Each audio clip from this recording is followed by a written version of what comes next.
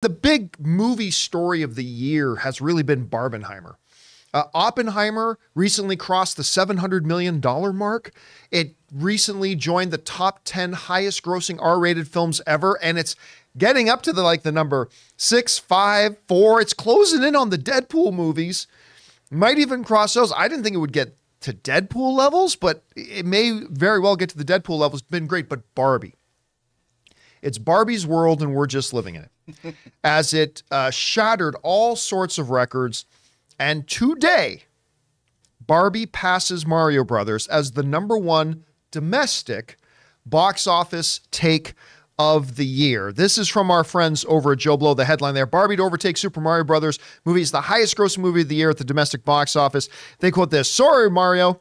It's Barbie's world now. Per deadline, Barbie will overtake the Super Mario Brothers movie to become the year's highest grossing movie at the domestic box office. This Wednesday, that is today, will pass that mark and we'll take in a haul 574.2 million. It's probably even going to be a little bit higher than that, but today that's it. The domestic mark is down. Now that's all in front of it is the more important number, which is the overall worldwide. Mario Brothers is still sitting at about 70 million ahead of Barbie. Uh, it will probably beat that this weekend. I mean, it's going to be closer than we thought it was going to be maybe a week or so ago, but it's probably going to pass it at that point. Rob, I think it's safe to say if we go back to the beginning of the year, and we if we had a discussion about what are going to be the top two box office films of the year, I don't think a year ago Mario Brothers or Barbie would have been in that conversation. I think we would have been, and we did talk. We would have been talking about things like Fast X, Guardians of the Galaxy. You did though about Mario. well, uh, but not a year ago. It, it wasn't until about three or four months before Mario came That's out true. that I called it because I started to see everything. But a year ago, it wouldn't have been on my list. That's true. I, okay. I, uh, so I don't want to take too much credit there because a year ago I would not have thought that.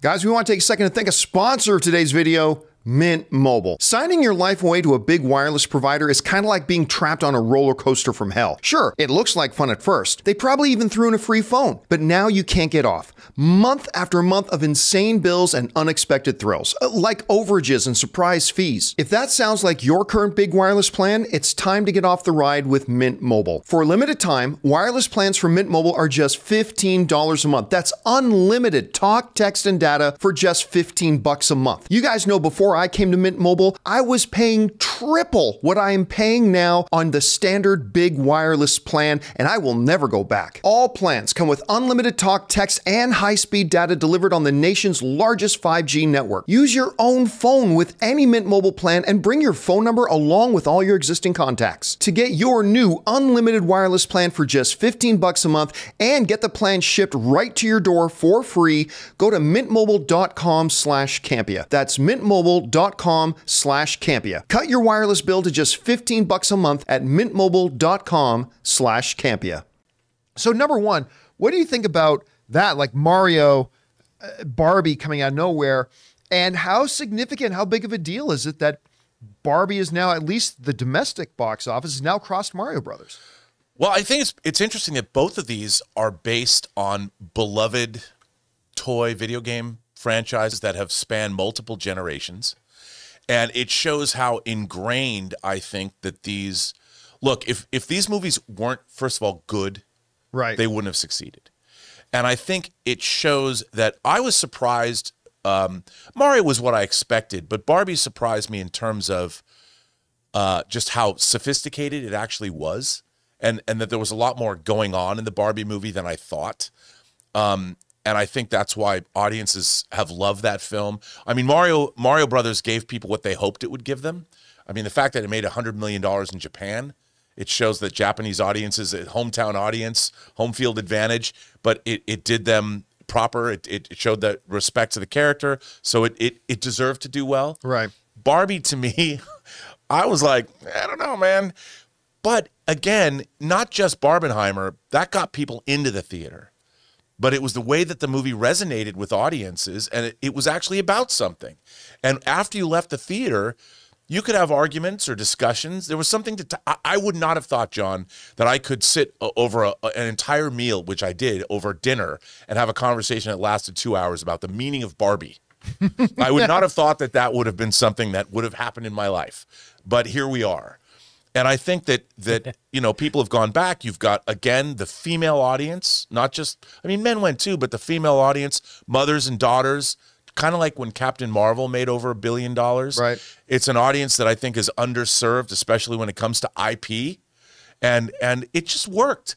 And the fact that they had, you know, you have Greta Gerwig, who I would call her an auteur.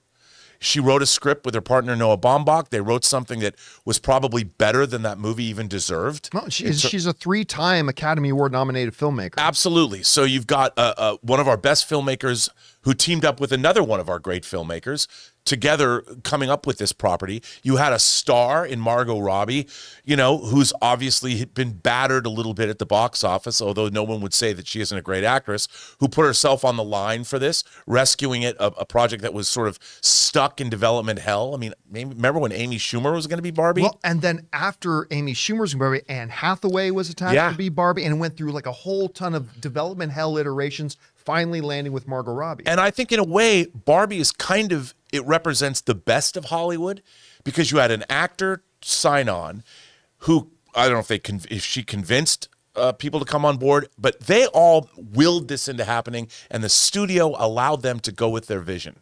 You know, it could have had a lot of studio interference. I'm sure that it was just to me, it's an example of how this business can work and still surprise people, still make great entertainment. And I'm sure the cynics are going to be talking for years to come about how, well, it was a perfect storm in Barbenheimer and it wouldn't work. But no, Barbie at the end of the day was an interesting film that was probably more interesting than it should have been because it had people who believed in it and they made the movie that they were allowed to make. And look where they got. Here's an interesting stat for you to really understand like the the the seismic shift that's kind of happened in the landscape here. Again, let's go back to if we were going back a year.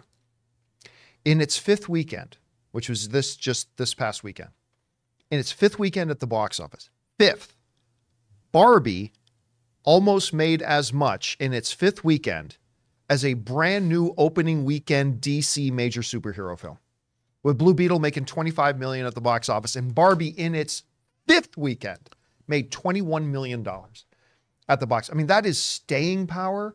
I mean, Ray, we went to go see Blue Beetle, and there were still people in its fifth weekend there in pink. You know, guys, 45% of the audience, by the way, according to Variety, 45% of the audience has gone to see Barbie were male. I mean, that's still a, a big, heavy majority at 65%, or uh, uh, yeah, 65% for, uh, no, 35, 35. 55%. Let me try that again. 55% of the audience was female, but a lot of men were going and enjoying this film. And now it's crossing Mario Brothers. And now I guess the clock is just on as to when will it catch Mario for the overall world lead. And then the question is I- we were asked this question the other day, Rob, about is there any film left this year that has the possibility of catching it? I say the only film that has a chance is going to be Dune 2 because you know the last one won six Academy Awards. The audience loved it. It made 400 million in the box office, despite the fact that it was released on HBO the exact same day, and it still made 400 million at the box office. I don't know that Dune 2 is going to catch Barbie, no. but if there's any one that has the chance, I think that's going to be the one. I just the thing about Dune is it doesn't have the same kind of family crossover appeal. No, it's going to be a totally different demographic. yeah, that to totally different demographic. But uh, you know, I think Barbie is a once in a lifetime film. But you know what? It shows that these movies, it's not enough to be an IP derived film anymore. It still has to be an IP derived auteurist film. You still need great directors and great writers on these properties. And I think that's something that's been forgotten. And maybe people look to Barbie. If you want to take a lesson away from that, you know, if you're going to make, I'm waiting for the Gnip movie.